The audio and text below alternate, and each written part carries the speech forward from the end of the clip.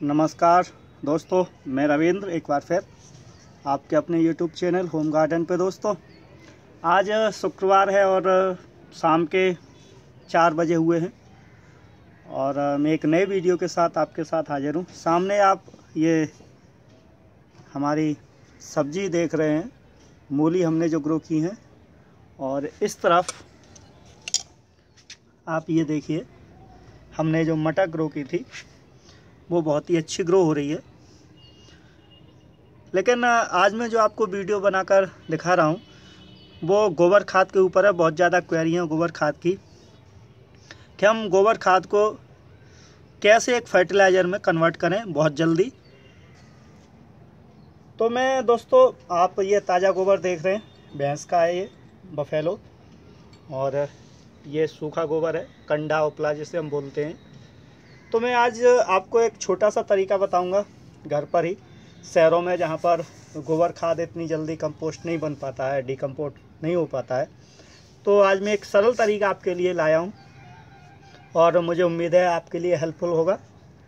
तो चलिए हम उसे आपको दिखाते हैं, लेकिन उससे पहले आज की वीडियो का विचार। और आज की वीडियो का विचार है कि हर व्यक्ति अपने आप में खास होता है। दोस्तों, हमें किसी की कार्बन कॉपी नहीं बनना होता है आप अपने लिए स्पेशल हैं और आपके अंदर ऐसी क्षमताएँ हैं जो दुनिया में सिर्फ़ आपके अंदर हैं, किसी और में नहीं। तो अपनी क्षमताओं को पहचानिए। तो चलिए क्या क्या सामान चाहिए हमें? मैं आपको बताता हूँ। गोबर, अगर आपके पास गीला मिल जाए तो गीला चलेगा। और ये देखिए, सूखा गोबर अगर हो तो सूखा गोबर भी बहुत अच्छी तरीके से काम करेगा। और ये देखिए, ये एक वकेट है क्वालिटी प्लास्टिक की। और मैंने इसमें क्या किया कि एक साधारण एक टोंटी लगाई हुई है इसमें, ऊपर काफ़ी। और ये आप अपने हिसाब से चयनित कर लें कि आपको कितनी गोबर खाद बनानी है। तो मैं जनरली आपको ये प्रोटोटाइप वीडियो बना के दिखा रहा हूँ। आप बड़ी बास्केट का यूज़ करें ड्रम का यूज़ कर सकते हैं। या फिर ऐसी आप बाल्टी ले सकते हैं आप डिस्टम्बर की। या फिर बड़े ड्रम।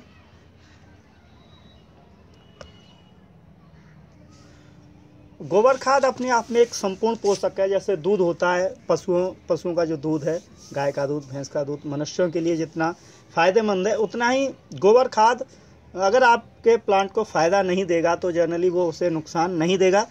दूसरी रासायनिक खादें दोस्तों, आपके प्लांट को नुकसान दे सकती हैं।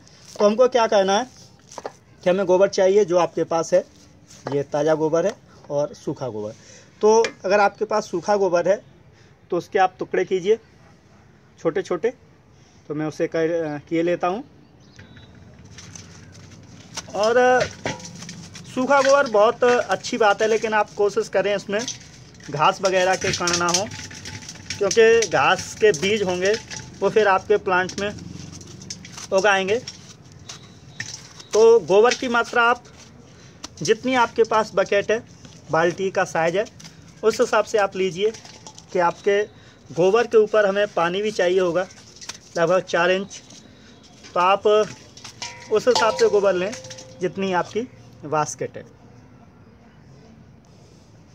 हमने अपना सूखा गोबर तोड़ लिया है। अब क्या करना है कि आपको इसमें पानी मिला देना है। हल्का सा, ये नम हो जाना चाहिए। और इसे फिर हमें छोड़ देना है दस से बीस मिनट ये पानी को एजॉर्ब कर ले, सोख ले। और इधर हम अपने गीले गोबर को भी तैयार करेंगे। गीला गोबर आप किसी पात्र में लीजिए, उसे घोल लेना है। घोलने से क्या होगा कि उसके अंदर जो घास के पत्तियाँ हैं, टुकड़े हैं तो उन्हें आप आसानी से निकाल सकते हैं। तो चलिए वो भी हम किए लेते हैं। मैंने एक दूसरी बाल्टी का ली हुई है, और ये मैंने गोबर लिया। और गोबर को मैं इस पानी में अच्छी तरीके से घुल लेता हूँ। फ्रेंड्स गार्डनिंग में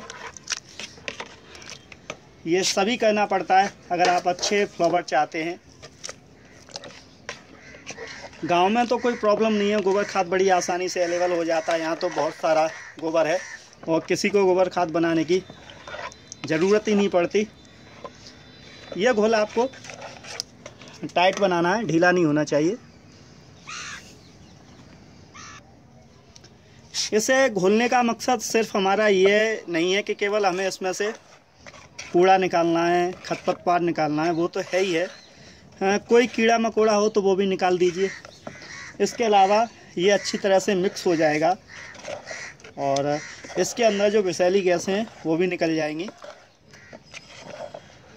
मीथेन मुख्यतः होती है गोबर में, मैं आपको बताऊँ। और वही इसे कंपोस्ट बनाती है। तो ये हमारा पेस्ट तैयार है गोबर का, आप देख सकते हैं। अच्छा अभी हमने जो सूखा गोबर अपना किया हुआ है, ये दोनों तरीके अलग अलग हैं। आपके पास अगर गीला गोबर है तो सूखे की कोई ज़रूरत नहीं है। और केवल सूखा है तो सूखे को आपको ऐसा ही घोल बना लेना है। घोल ना बने, कोई बात नहीं है। पेस्ट बन जाना चाहिए हल्का सा चलिए तो हम उसे भी देखते हैं। क्या कंडीशन है उसकी? आप देख रहे हैं, हमारा सूखा गोबर उतना अच्छी तरह से पेस्ट नहीं बना है। लेकिन हमारा मकसद था कि खतपतवार अगर कोई हो, घास के टुकड़े हों, वो निकल जाए। और अगर कोई कीड़े मकोड़े हों, हानिकारक तो वो भी निकल जाने। चाहिए, वो हमारा काम हो गया है। अगर आपके पास समय है तो आप इसे 24 घंटे भिगो कर रखिए, बिल्कुल वैसा ही पेस्ट बन जाएगा। लेकिन हम गोबर खाद बना रहे हैं तो कोई ज़रूरी नहीं है कि वो पेस्ट ही बने। जनरली हमारा काम इससे भी चल सकता है। तो ये हमने प्रपेशन कर ली है, और अब हम वो पात्र लेंगे। ये वाला, जो हमारी बकेट है। इसमें ही हम अपनी गोबर खाद बनाएँगे एज ए फर्टिलाइज़र ये तरीका मैं सिटी के लिए बता रहा हूँ, उस जगह के लिए बता रहा हूँ, गाँव में भी जो जिनके पास गोबर खाद अवेलेबल नहीं हो, वो काफ़ी कॉस्टली फर्टिलाइज़र ख़रीदते रहते हैं। तो आप बड़ी बकेट यूज़ करें, मैं आपको केवल बना के दिखा रहा हूँ। तो सबसे पहले आपको क्या करना है कि ये जो आपको अपनी टोंटी दिख रही है, नल दिख रहा है, इस पर एक पतला कपड़ा बाँध देना है। या जाली लगा देनी है। दोस्तों, ये काफ़ी बढ़िया चीज़ बता रहा हूँ मैं। एक तीर से दो निशान हम करेंगे। एक काम से हम अपने दो फ़ायदे लेंगे। इससे ही हम कंपोस्टी भी बनाएँगे दोस्तों। कंपोस्टी आपको अलग से नहीं बनानी होगी। हमारी गोबर खाद भी बनेगी और कंपोस्टी भी बनेगी। तो ये एक तीर से दो निशाने हम करेंगे। तो इसे हम कपड़े से बाँध देते हैं। आप समझ रहे होंगे हम चाहते हैं हमारा गोबर इसमें ना फंसे केवल कंपोस्टी ही नीचे जाए। ये एक पुराना सा कपड़ा मैंने लिया है ये जालीदार है। आप आ, किसी की चुन्नी ले सकते हैं या कोई सूती कपड़ा भी ले सकते हैं। इतना ध्यान रखें पानी इसमें से बाईपास हो जाना चाहिए आसानी के साथ। तो मैं अब इसे इस पर ऐसे अच्छी तरीके से बांधे देता हूँ और ये हमारी छलनी का काम करेगा। और देखिए, मैंने एक कपड़ा लिया एक प्लास्टिक की ये रबड़ ली है। और इसे इस पर मैं इसे चढ़ा देता हूँ अच्छी तरीके से।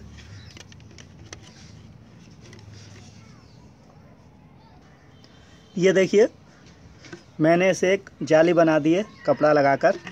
अब हमारा काम शुरू होता है यहाँ से। तो सबसे पहले हमें इसमें एक मिट्टी की लेयर भी लगानी होगी दोस्तों। गोबर को जल्दी कंपोस्ट में बदलने के लिए मिट्टी बहुत ज़रूरी है। आप अपने गार्डन की मिट्टी ले सकते हैं, सैंड ले सकते हैं या जैसे भी मिट्टी आपके पास हो, साफ़ होनी चाहिए थोड़ी सी बस तो मैं मिट्टी इसमें डालता हूँ। ये देखिए, नॉर्मल मिट्टी है, बस मैंने इसे छान लिया है, और वो छाना इसलिए है कि हम नहीं चाहते इसमें भी कोई कंकड़ पत्थर हो। और इसकी मैं हल्की सी, लगभग आधा इंच मोटी एक, ये देखिए मैंने पर्थ बना दी है, अगर आप देख पा रहे हो। और ये पर्थ एक लेयर का काम करेगी। और, मिट्टी बहुत ज़रूरी है दोस्तों, अगर आप जल्दी कंपोस्ट अपने गोबर को फर्टिलाइज़र में बदलना चाहते हैं तो। और अब हम इसमें अपना गोबर डालेंगे। तो मैं सबसे पहले सूखा गोबर ही डालूँगा। ये देखिए, क्योंकि सूखा गोबर ही सिटी में ज़्यादा मिल पाएगा।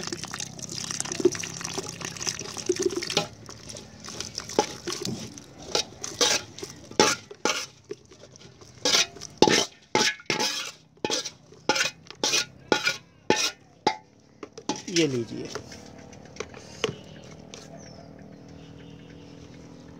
ये मैंने इसमें सूखा गोबर डाल दिया है। अब हमारे पास अगर आपके पास केवल सूखा ही गोबर है तो आप इसे जो आपने ये टोंटी लगाई है, इससे कम से कम एक से दो इंच नीचे तक गोबर भरें और इसके बीच में आप एक दो लेयर मिट्टी की भी बनाते रहें। जैसे ये है तो मैं एक हल्की सी लेयर मिट्टी की बना दूँगा।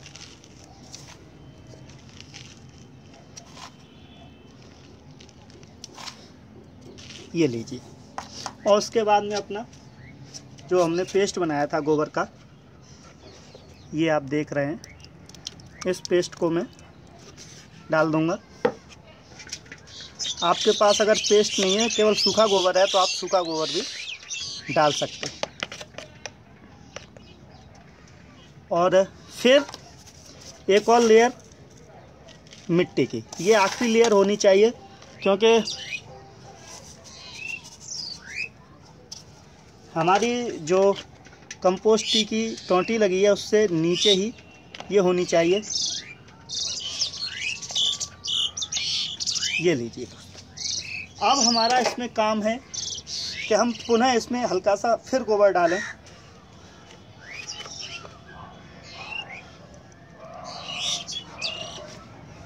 और अब हम इसे पानी से भर देंगे।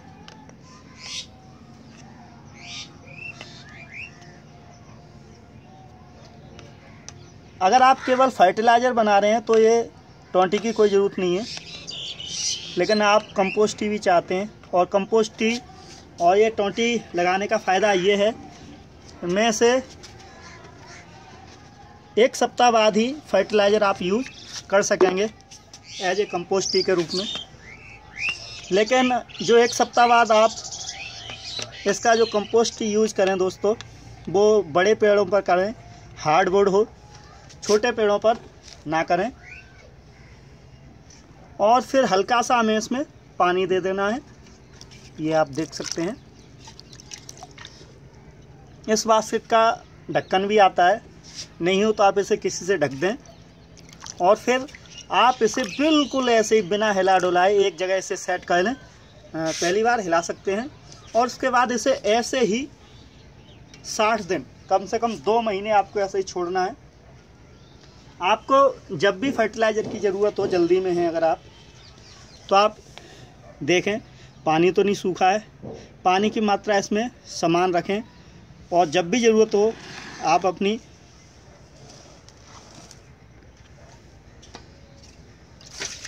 इस टोटी को खोलिए और एक पात्र नीचे रख दीजिए। धीमे धीमे जो आपका फर्टिलाइज़र होगा, वो इस टोंटी से बाहर आ जाएगा। आप देख सकते हैं, ये धीमे धीमे हमारा जो कंपोस्ट ही बाहर आ रहा है, बूंद बूंद करके। ये धीमे धीमे ही आता रहेगा, लेकिन ये कंपोस्ट ही आप अभी ना निकालें। मैं केवल आपको दिखा रहा हूँ, बता रहा हूँ। कम से कम पंद्रह दिन बाद आप कंपोस्ट ही यूज़ करना शुरू करें, क्योंकि ये अभी ताज़ा गोबर था पुराने गोबर का आप यूज़ कर सकते हैं जनरली एक सप्ताह बाद, लेकिन अगर ताज़ा गोबर आप यूज़ कर रहे हैं तो फिर इसे पंद्रह दिन रुकने दें। रही बात इसे छाँव या धूप में रखने की तो इसे कहीं भी रखें। धूप में रखें तो इसे कवर करके रखें। छाया में आप इसे कवर करके रखना चाहिए आपको। तो मैंने इसे बंद कर दिया दोस्तों, और जो ये कंपोस्ट निकली है। कंपोस्ट का मतलब होता है हमारे गोबर खाद फर्टिलाइज़र से जो पानी हम बनाते हैं वो साधारण शब्दों में। तो जनरली मैंने आज आपको ये एक साधारण तरीका बताया है। गोबर को एक बहुत अच्छे फर्टिलाइज़र में बदलने का।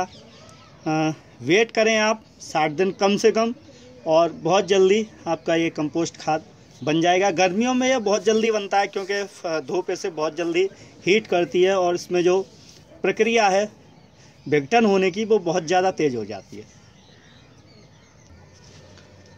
तो मुझे लगता है ये तरीका आपके लिए हेल्पफुल रहेगा। गोबर खाद आप कभी भी किसी भी पौधे में कैसे भी यूज़ कर सकते हैं, लेकिन वो अच्छी तरह से कंपोस्ट हुई होनी चाहिए, डिकोड होनी चाहिए, अच्छी तरह से वो गोबर खाद पूरी तरह से पक गई हो। कुछ दिन बाद दोस्तों, लगभग साठ दिन बाद आपको कुछ इस तरह की, ये देखिए, मेरी एक और बास्केट में पहले से ये गोबर खाद बन रही थी। आप देख सकते हैं इसका कलर। कुछ कुछ ऐसा हो जाना चाहिए। बिल्कुल ब्राउन, चॉकलेटी कलर। और उसे जब हम सुखा लेंगे तो कुछ वो ऐसा हो जाएगा जब उसमें पानी की मात्रा नहीं रहेगी।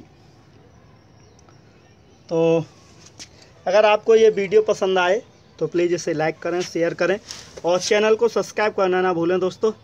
तो आपका धन्यवाद बहुत बहुत वीडियो देखने के लिए। फिर मुलाकात होगी किसी नए वीडियो में। किसी नए टॉपिक के साथ। तब तक के लिए धन्यवाद। Thank you